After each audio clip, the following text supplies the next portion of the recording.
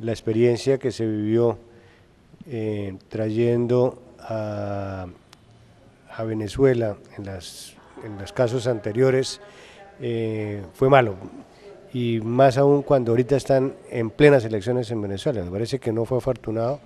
Esperemos que en esta vez no falle, ya tenemos una experiencia fallida, pero también vemos a un gobierno venezolano con muchas ganas de colaborar, vemos a un gobierno venezolano que junto con el presidente Santos han llegado a unos muy buenos acuerdos.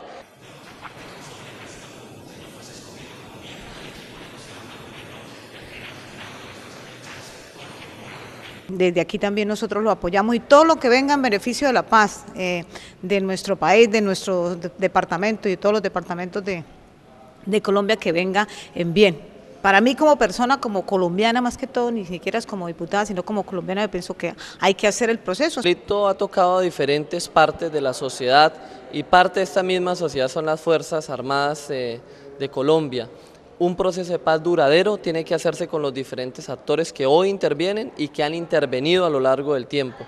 Lo que se quiere es un proceso de paz sólido para Colombia y yo creo que se están colocando unas bases ciertas para lograrlo.